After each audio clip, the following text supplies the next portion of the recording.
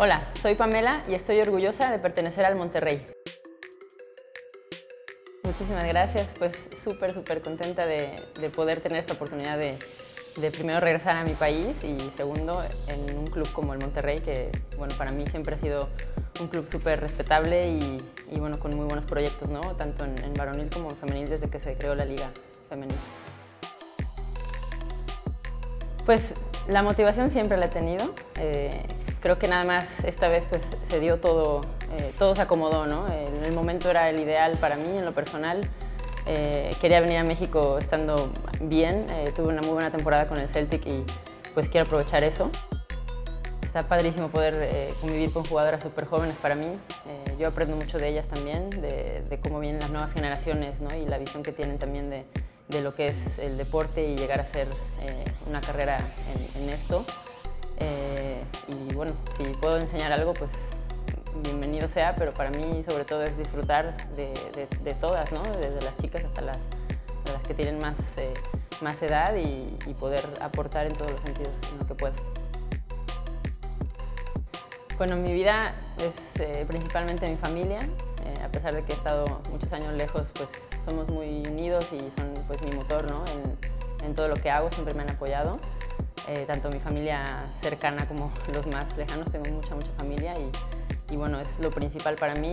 Eh, después el deporte, eh, siempre, siempre he tenido una vida y un día a día vinculado al deporte desde muy chica y lo disfruto, ¿no? Para mí no ha sido ningún sacrificio pues entrenar todos los días o llevar tantos años pues teniendo disciplina y eso para mí ha sido algo para disfrutar y algo en lo que me siento muy afortunada de, de poderlo estar haciendo.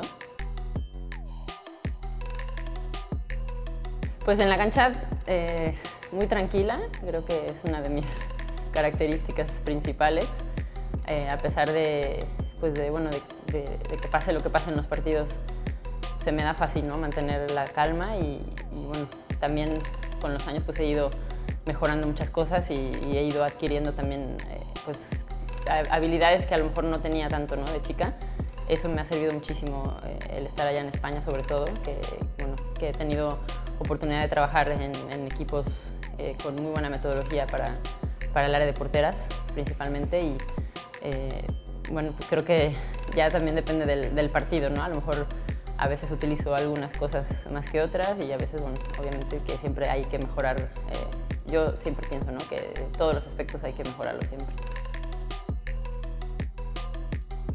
Pues mira, yo creo que es muy importante, eh, lo, más importante para poder desarrollarte como deportista y futbolista en este caso es tener la infraestructura, el, espacio de, donde trabajar ¿no? y, también las personas que te apoyen a hacerlo. Eh, yo lo he visto que es en, donde he tenido eso, en, Europa, es en donde más he podido crecer.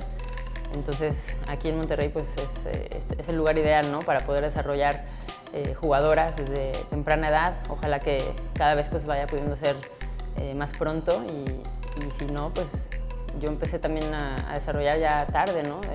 en lo que es el área de, portera, eh, pues que todas las jugadoras podamos aprovechar eh, toda esta infraestructura que hay, espacios y tiempo para poder seguir trabajando, mejorando y, cumplir nuestros objetivos. Sí, a mí me encanta poder tener esa conexión con, con la afición cuando cuando la hay así, como dices, ¿no? Eh, tan, cercanos y tan apasionados de, pues, de lo que es el club. Y sí he visto que han apoyado muchísimo ¿no? al, femenil desde que se creó la Liga MX. Eh, estoy súper emocionada de poder compartir esto, este, esta etapa ¿no? con ellos y, que disfrutemos, ojalá, eh, cosas muy bonitas.